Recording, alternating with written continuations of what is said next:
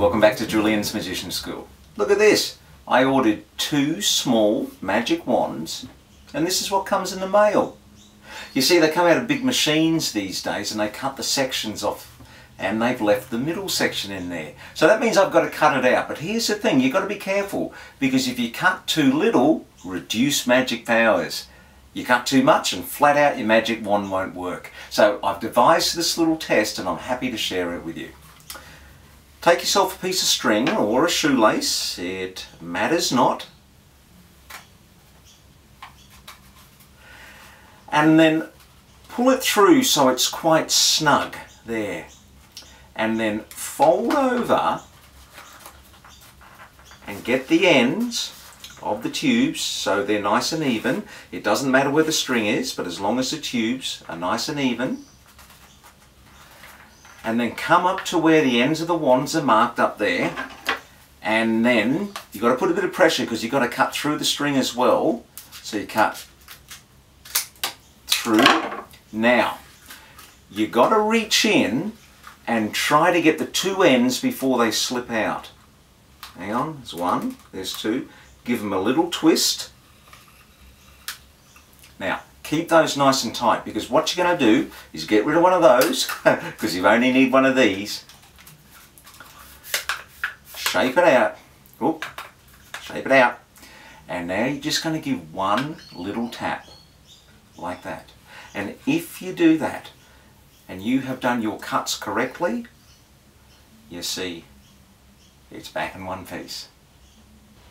The cut and restored string is a classic magic trick that's normally done with a piece of string and a drinking straw. Couple of problems with it though. Uh, when you put the string through the drinking straw it's really thin and hard to get through and uh, there's a secret cut uh, in that straw which we're going to find out about.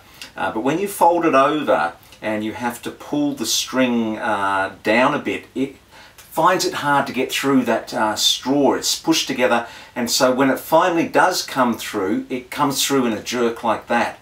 And it's a really big giveaway to how the trick works. So I came up with this version, which I think is going to make it a whole lot easier for you guys, and you actually might get out there and start performing this trick. Alright, so what you're going to need is uh, go to my website here, and you can download yourself uh, one of these little wand uh, bits of paper. Now when it prints out it's going to have this white strip along the top, top there. Just snip that off and you end up with that. Roll that uh, from the white side first into a tube. Get four little bits of tape and stick it on the white bits there. And then we're going to make the secret cut. Have a look at this. Find the crease and then fold that little section there. Don't fold the whole thing out, just fold that bit there. And now you're going to cut a little notch on the outside of the line and then you're going to cut along so the idea is we're cutting off just a thin section here and then we get, get to the line go another 45 degrees and do a little notch out like that and open that back up you might need to just press that out and this is what you get you get this uh, long tapered groove through there which is where the string is going to slip through now what you're going to do is you're going to uh, go exactly to the middle as close as you can and keep this there we go, it's going a bit off here. But you want to keep this uh, cut uh, exactly halfway along and then fold over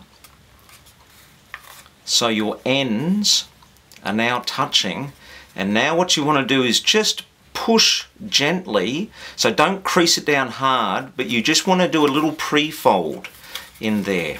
So it's not too bad. Just when you hold it that side and you're doing the trick and your fingers are covering it it's not a big deal. But the idea is that it's pre-folded.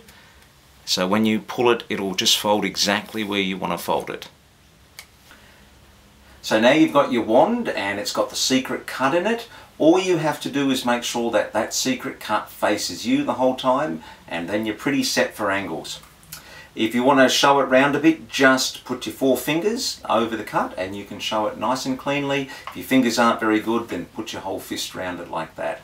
So with the cut facing towards you, you go through your story, whatever presentation you want, and you slide your string through from one end to the other, turn it horizontal, and so what I want to do is line the string up with the crease of the paper here. So I put my index finger and thumb and pinch it on that side, index finger and thumb and pinch it on then this side. And when I pull it tight, see it starts to come. In fact, it's actually coming right through the crease in the paper, which is where you want it to be. And remember, that's hidden from the audience, they can't see. And when you start to fold, so now the string is starting to come through like that and remember the blind side is always facing the audience. You just fold it in and pull the string as you go and you can immediately show it like that. It's very clean.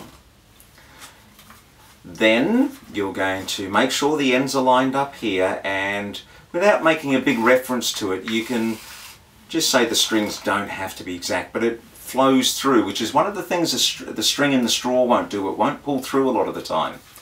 Then all you do, you don't have to pull that down and really snug it down because just pulling the string back and forth will snug it into place where it needs to be. Then you're going to actually press on the line up here and you're going to be feeling for where that string is.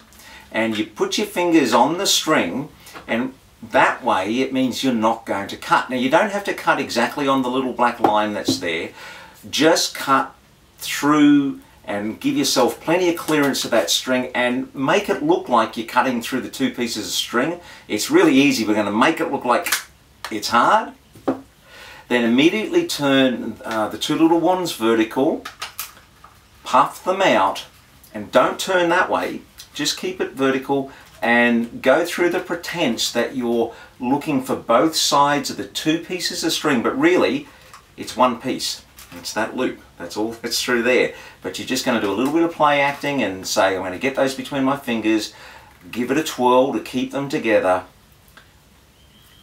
Remove those, keep those hidden in the fingertips. Now, get rid of one of these. And the reason for that is, is because See there's two little notches there, like that? You don't want people seeing those notches. So uh, when you pull it out, you turn those towards you, get rid of one, however you want, all right? And then the other one here, you're going to, see the little notch there? You don't want them seeing that. So I'm going to put my fingers over that, and that's how I'm going to hold the magic wand. And then one little tap, and then you can get rid of that if you want. And then a little whoop, and it comes back together. All right? Remember, if I can do it, you can do it.